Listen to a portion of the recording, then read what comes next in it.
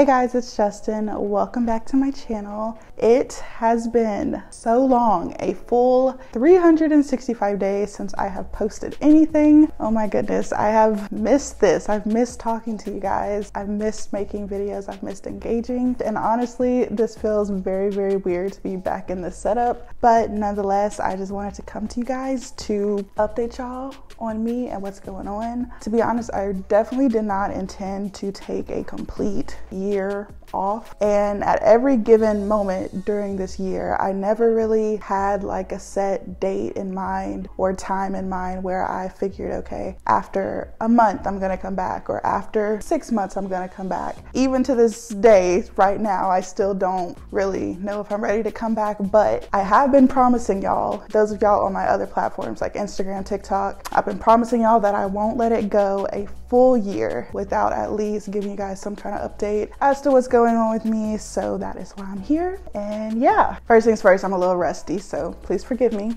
But I kind of just, I guess, want to start this video off by letting y'all know what's been going on this last year in my life. It's really not that much to be honest, but I was trying to write everything down and figure out what I wanted to talk about. And I feel like there's three really big, I guess, updates that have happened to me. Number one, and this actually happened literally right after the last video I posted. So this is almost a year old at this point. But I finally got a job. I have or was struggling to find a job for a very, very, very, very long time. It was extremely frustrating. It was embarrassing. But yeah, I ended up finding a job and it is a full time job, which wasn't really what I was looking for. Just to kind of take you guys back. So before I moved to Texas, I had spent, let me see, like four months doing social media full time. And I put full time in quotation marks because that was my intention when I quit my last job. But as soon as I quit my job, I ended up going through a whole like identity crisis, depression, I don't know who I am thing. And even though I thought I was going to do social media full time, I really didn't take full advantage advantage of that. So once I moved to Texas, my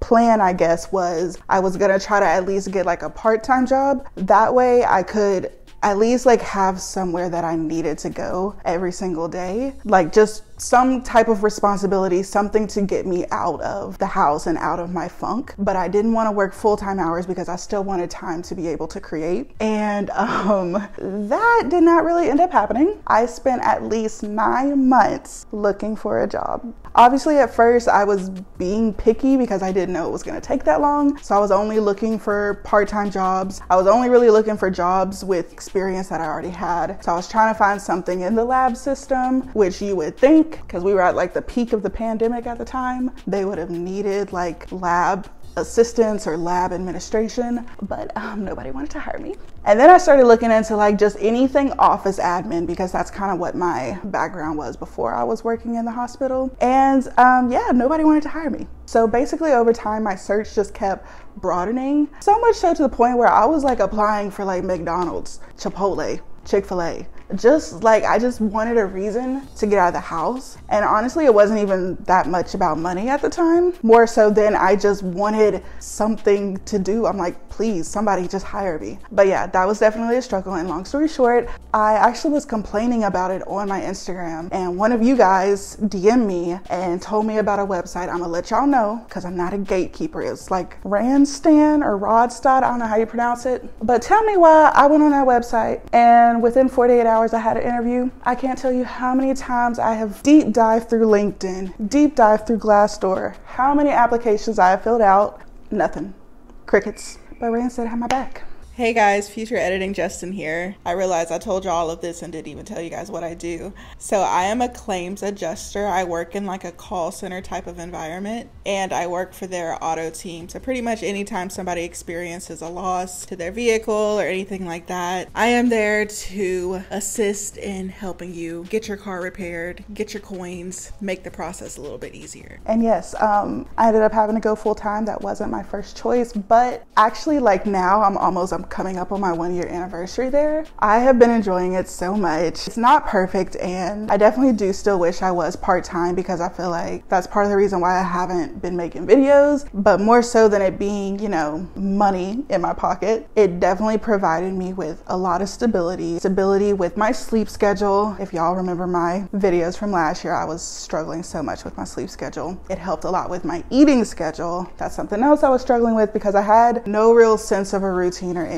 So now being at the point where I have to go in at a certain amount of time, where I get this specific block for my lunch break, and then I get to leave at a certain amount of time, it just really helped me to regulate my day. And on top of that, I've actually made some friends. So, update number two this kind of came along with the job, but I was able to move finally I was able to move and get my own place, which I'm currently in right now. And you guys can't really see that much of it. I'm literally in the corner. But yeah, that was also another very big struggle for me finding um, housing while being in Texas. For those who don't know, whenever I, well, before I even moved here, I was trying to automatically just move into an apartment. Like I wanted to just take my stuff from my place in Louisiana and move it to my new place in Texas. I was having just such a hard time finding a place, or not really finding a place, but just like the application process. I had a few options in mind and each one was just it was not working out for me. So I ended up moving in with family, and that was only supposed to last for like two months, maybe three. that ended up lasting for two months plus an entire year. And throughout that entire time, I have been trying to find a place to live. I've never experienced this much difficulty with trying to find housing. And I don't know if it is just a Texas thing or if it's just like post pandemic, which that even sounds weird because we're still kind of in the pandemic, but you know, I feel like the biggest wave of it has passed. But yeah, when I tell y'all, I've probably toured at least like 50 different apartment complexes. I've applied to multiple of them, and there was actually one that everything finally went through. I had everything ready to go. I had my move-in date scheduled. I had the U-Haul ready. Everybody was ready to move me in. But something told me that I needed to view the unit I was going to before I signed the lease. Mind you, I've never done that at any of my other apartments, and I've had three before this. But I just knew I needed to I needed to see what I was going into because the model and the leasing office, everything they showed me looked nice, but there was just something in me that was like, okay, I need to see where I'm going to be laying my head. Y'all, when I showed up on the day I was supposed to move in, I had a full blown panic attack because the unit they wanted me to move into um, was infested with roaches. Oh, what the which I am terrified of. And the amount of money I was about to be paying these people every single month to be staying in a place like this, absolutely not. So that was honestly very traumatizing. And what sucked the most is that I felt like I was finally about to have my own place. And then that was like kind of taken from me. And in today's time, like people who are looking for apartments now are more than likely looking for apartments that they're not going to move into for another several months. Back before when I was in Louisiana, and like I said, I don't know if it's a Texas thing or a post pandemic thing, you could go to a place and they would have availability right then and there. If everything worked out, you could be moved into a place like within a couple days. So that whole ordeal happened in December, and it took me until March to get into this place that I'm in now. So all of that to say, I am so excited to have my own place. I was definitely grateful for being able to stay with family for that entire year, but I just I like having my own space. There's just nothing like having your own space and feeling that freedom. And then last but not least, this is not really like an update, more of something really, really special and amazing I got to experience. This was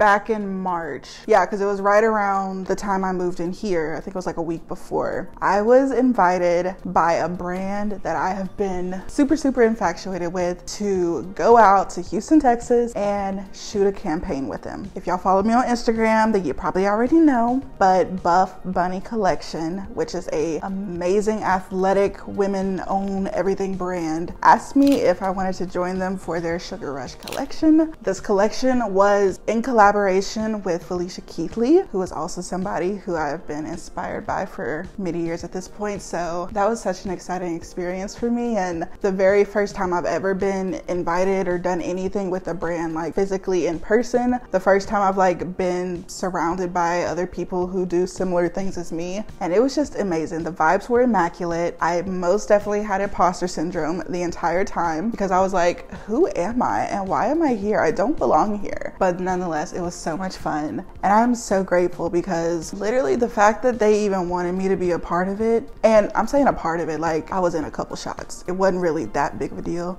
but it was a big deal to me. But the fact that they invited me to do it while I was being inactive because I hadn't like posted in probably six months at this point was really, really special to me. So in case they ever see this, again, thank you so much. Y'all definitely, that was like probably one of the biggest highlights of my year. So those are definitely the three biggest positive things that have happened to me this year. However, um, just to kind of bring things back into reality, this year um, has probably been, I'm not even gonna say probably, it has been the hardest year that I have had mentally. I did not, oh, this is difficult for me to talk about, but I, I did not think that my mental health could get to an even worse place. And I feel like even before this year, I know everything I'm saying is within this year, but this honestly has been going on for probably the last three years. I've been like kind of on this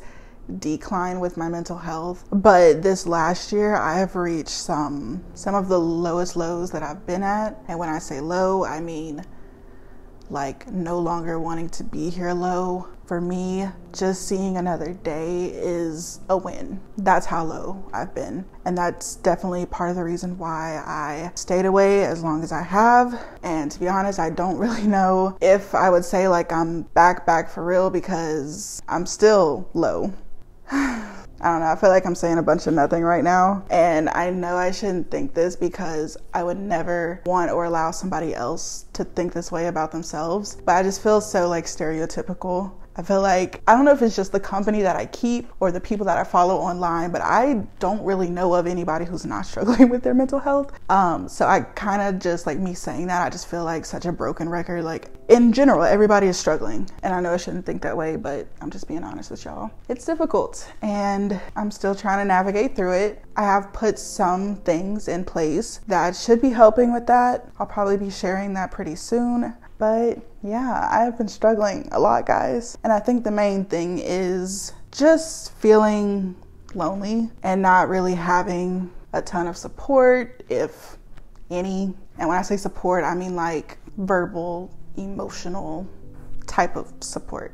And that mixed with me trying to share this new journey, this intuitive eating journey, and receiving so much hate and backlash online really just doesn't mix well together because I don't have anyone to really, I don't know, like help me out with it. I feel like it's just me versus me. Like I'm just in my head 24 7, overthinking, and it gets really, really tiring. And that's just like one thing. And I feel like that is kind of the main thing. I'm kind of being nonchalant about it, but I don't want to put all my business out there because some of it I don't even still understand it to this day. But yeah, that's pretty much what has been going on. I'm still battling with it. I'm not saying that it's over in any way. I just kind of wanted to update you guys on what's going on. As far as my intuitive eating journey, I think I'm going to create a whole like separate video talking about that just because I'm looking at the time. This has already been way longer than I thought I was going to talk. So I will be updating you guys on that pretty soon. But yeah, I guess last thing I want to say is just a big thank you to those of y'all who have been patient. A lot of y'all have not been patient. And I say that like smiling because I promise you guys, there hasn't been, I'm not going to say every day, but there hasn't been like maybe two or three days that have gone by where I haven't had somebody check in on me or ask me or threaten me that I better post a video. Y'all are funny, but honestly, I say that like lighthearted because even though I wasn't in a good mental space to be posting and be filming, it did just feel good that people cared and people wanted to know what was going on. So I do just want to thank those of y'all who have checked in on me. Just let me know that you're praying for me, rooting for me, whatever. I definitely appreciate it and it doesn't go unnoticed. And yeah, I hate to like end this video on such a Debbie Downer note, but that's kind of it. I would encourage y'all to let me know what you think, your thoughts, how y'all are doing. But um, I'm like 99.9% sure I'm still gonna have the comments off um, just because I don't think that I can mentally handle that right now. So, anyway, I hope y'all are doing well, and I will talk to y'all soon in my next video. Love you guys, and I'll see y'all later. Bye.